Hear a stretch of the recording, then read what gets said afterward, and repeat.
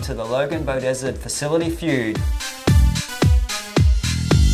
We've surveyed our staff to get the top responses to this question.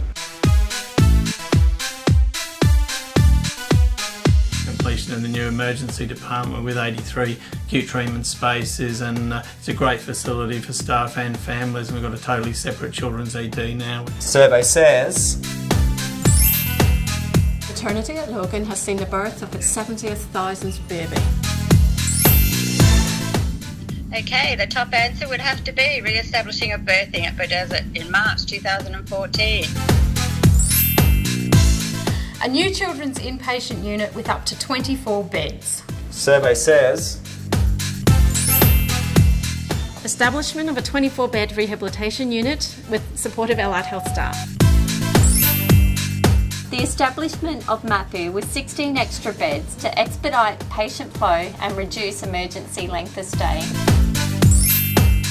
Surgical services across Logan Bayside has achieved zero long waits and consistently kept it for the last two years. With the commencement of the ENT integrated multi-disc clinic, we cut the waiting times by 63%. Survey says